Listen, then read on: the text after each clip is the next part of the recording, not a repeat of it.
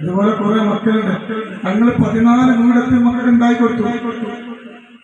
അതിനാണ് പതിനാല് പെൺകുട്ടി നിങ്ങൾക്ക് ഞാൻ പതിനാല് കല്യാണം കഴിച്ച് കേൾക്കണം നിങ്ങൾ.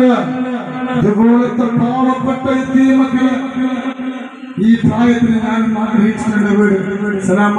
ചെറു പ്രായത്തിൽ വാപ്പ മരിച്ചു. എന്റെ പെങ്ങളെ കെട്ടിക്കാൻ അന്നും മാസോട് വർഷത്തിലല്ലേ എന്റെ ഉമ്മ ലെറ്റർ വാങ്ങിയില്ല? എന്റെ പെങ്ങളെ കെട്ടിക്കാൻ ഈ മാഷ് ഒപ്പിട്ടുണ്ട് അതുകൊണ്ടാണ് ഇത്രയേറെ എത്തി മക്കൾ സ്നേഹിക്കുന്നത്. മക്കൾക്ക് പതിനാല് വീട് ഞാൻ നിർമ്മിച്ചു കൊടുത്തപ്പോൾ പാവപ്പെട്ടവർ. അതിനാൽ എനിക്ക് യൂട്യൂബിലൂടെയും ഫേസ്ബുക്കിലൂടെയും എനിക്ക് കിട്ടിയ സമ്മാനം. പതിനാല് കല്യാണം കഴിച്ച സന്തോഷമുള്ളൂ ഒരുപാട് ആരോഗ്യ സങ്കടമില്ല. പടച്ചിറപ്പ് കാണുന്നുണ്ട്. അല്ല പരാജയപ്പെടുത്തിയില്ല. പൊന്നു മക്കൾക്ക് വീടുണ്ടാക്കി. എനിക്ക് താക്കോൽ പിന്നെ നേരം വഴുകിയത് ഈ പൊന്നു മക്കളെന്നുള്ള താക്കോലിന്റെ താരം എല്ലാവരും നിർവഹിക്കണം നിങ്ങൾക്ക് നിങ്ങൾക്കറിയോ? നിങ്ങൾ പറഞ്ഞില്ലേ? സനാമാസ മാഷ മഹല്ലിൽ അങ്ങനെ തൊന്നല്ല. സലാമാശ മഹലിൽ തന്നെ ഭാര്യ ഗർഭിണിയായിരിക്കുന്ന ഭർത്താവ് മരിച്ചു. ഇദ്ദേഹിക്കാൻ വീടില്ല. ഓട്ടോപ്പാടത്ത് ഓട്ടോപ്പാടത്തിന്റെ അവിടെ.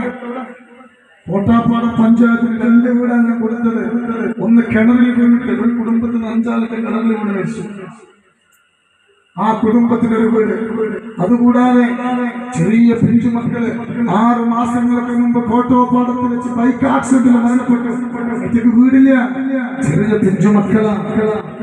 അങ്ങനത്തെ പതിനാല് പതിനഞ്ച് വീട് ഞാൻ അതും എങ്ങനത്തെ മനോഹരമായ പതിനാലും പതിമൂന്നും ലക്ഷം രൂപ ഈ നാൽപ്പത്തി ഒന്ന് വയസ്സിനിടയിൽ അല്ല എനിക്ക് തന്നെ നിയമത്താണ് ഒരുപാട് ആളുകൾ സഹായിക്കാൻ സാധിച്ചു.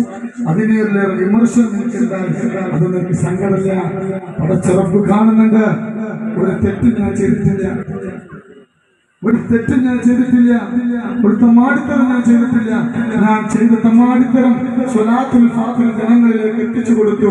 ഇതുപോലത്തെ മക്കളെ ഞാൻ നെഞ്ചിലേറ്റി അതല്ലാതെ തെറ്റ് ഞാൻ ചെയ്തിട്ടില്ല. അതിനെനിക്ക് ഒരുപാട് സമ്മാനങ്ങൾ യൂട്യൂബിലൂടെയും ഫേസ്ബുക്കിലൂടെ കിട്ടി. ഇൻഷാല്ലാ അതൊക്കെ പടച്ചിറപ്പിന്റെ മുന്നിലേക്ക് വിട്ടതാണ്. ഏറ്റവും വലിയ സങ്കടം ഒരുപാട് സുഖം മൊയ്തേമാർ ഒരുപാട് മൊയ്തേമാർ എന്നെ വേട്ട ഇപ്പോഴും വേട്ടയാടിക്കൊണ്ടിരിക്കുന്നു ഇന്ന് രാവിലെ രാവിലെ ഇന്ന് എനിക്ക് സങ്കടം